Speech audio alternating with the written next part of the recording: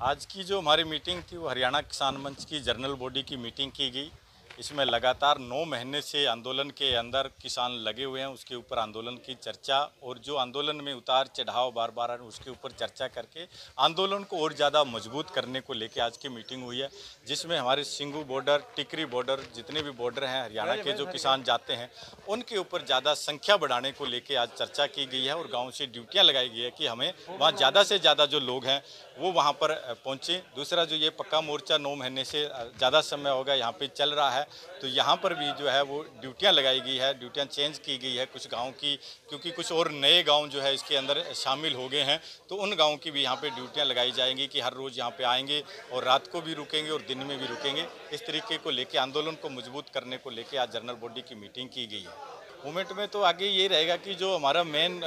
चल रहा है, वो दिल्ली के चारों तरफ़ बॉर्डरों के ऊपर आंदोलन चल रहा है। उस आंदोलन को हमारा मज़बूत करने का है कि हर गाँव से वहाँ पे हाजिरी हो। अभी भी बहुत से गाँव से लोग वहाँ पे लगातार पे हैं, लेकिन कुछ गाँव आज भी ऐसे हैं जिन गाँव से वहाँ पे हाजिरी नहीं हो पा रही। तो उन गाँव में भी जाके हमें तैयारियाँ करनी है कि हर गाँव की वहाँ पर एक घर बना हो, टिकरी बॉर्डर के ऊपर, और हर गाँव की हाजिरी वहाँ पर हो। और लगातार जो है, हफ़्ते के हफ़्ते दस आदमियों की ड्यूटी वहाँ पर लगा रहे हैं कि हर हफ़्ते दस आदमी ये गाँव से रुकेंगे। और अगले हफ़्ते फिर दस आदमी नए जाएँगे, इस तरीके से वहाँ पर ड्यूटियाँ लगाई जा रही हैं।